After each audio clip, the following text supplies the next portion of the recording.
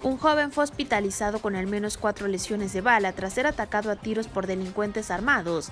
Las autoridades de la Fiscalía General del Estado indagan el hecho para dar con los agresores. Lo anterior se registró la noche del pasado sábado sobre la calle Esmeralda, casi esquina con la calle Toba en la colonia Lomas del Pedregal, donde por motivos ignorados un muchacho fue blanco de una agresión armada.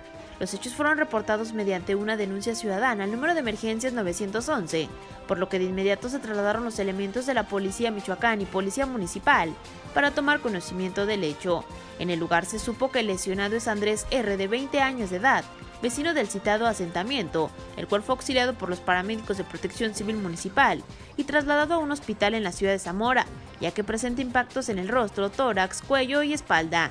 Debido a la naturaleza violenta del hecho, fue necesaria la intervención de la Fiscalía General del Estado, cuyos agentes dieron por iniciada la correspondiente carpeta de investigación.